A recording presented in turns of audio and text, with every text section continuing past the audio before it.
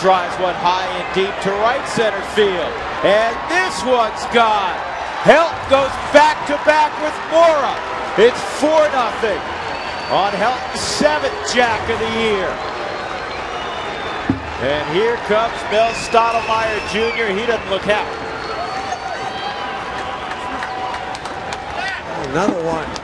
Stottlemyre just had to wait till Todd Cross don't play because he was ready to jog out there before that ball really even landed.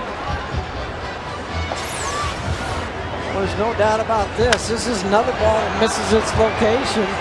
Rodrigo Lopez knew it as soon as he hit it, too. Gave almost the same look as he did when Melvin Mora hit his ball. Roof open, roof closed, it didn't matter. There was nothing about that wind that was going to hold that one up. And well, another some, big run. If some were thinking